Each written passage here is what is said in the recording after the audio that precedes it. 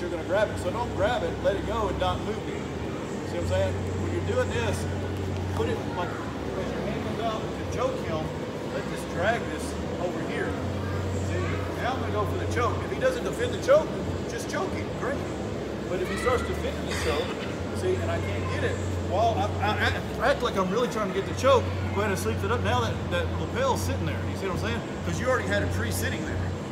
Okay, now reach up, and grab your lapel, then stretching. Now, see, now you have it. So that's what that hand, you gotta, you gotta hide that lapel like you're here and go like really committed like you're going for the choke. So he's thinking that that's what you were doing, going for the choke. He doesn't notice that what you were really doing was just setting the lapel up. See what I'm saying? So don't leave the lapel alone, let go, go for the choke, then go back in there and go like, where's that lapel at? Pull the lapel down, pull it out, go for the choke. If he doesn't defend the choke, choke him. If he does defend the choke, bring your leg over. The lapel's right where you left it. Then hip strip out. As you hip switch out, grab your lapel. Then stretch him out. Most of them will tap right there.